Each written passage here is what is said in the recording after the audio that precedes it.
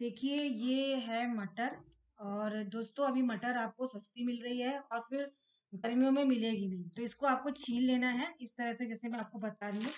इस तरह से आपको छीलना है इसे। देखिए, है। उसके बाद आपको क्या करना है, इसको छील कर, ये देखिए, मैंने इस तरह से इसको मटर को स्टोर कर दिया है। और ये मैंने पिछले साल की मटर आपको दिखा रही हूँ। ये मैंने पिछले साल करी थी।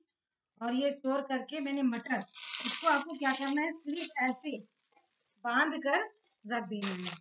देखिए, इस तरह से आपको बाँध कर ये मटर को रख देना है। और पूरा साल भर जब भी आपका मन करे तो आप मटर निकालिए और खाइए। आशा करती हूँ आपको मेरा ये वीडियो ज़रूर पसंद आया होगा तो ज़रूर सब्सक्राइब करें।